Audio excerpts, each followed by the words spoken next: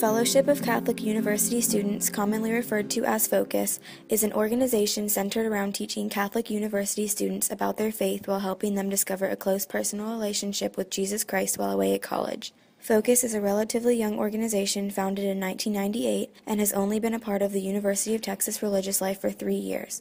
As a young organization, Focus missionaries at UT are looking to expand their influence on campus.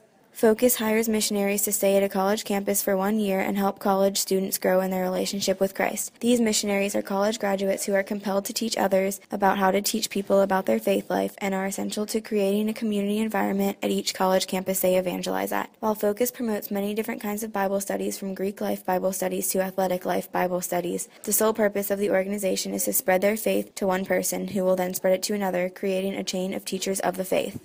Focus missionary Maddie West explains what makes Focus different from other Bible studies such as Young Life and talks about the goals of the organization.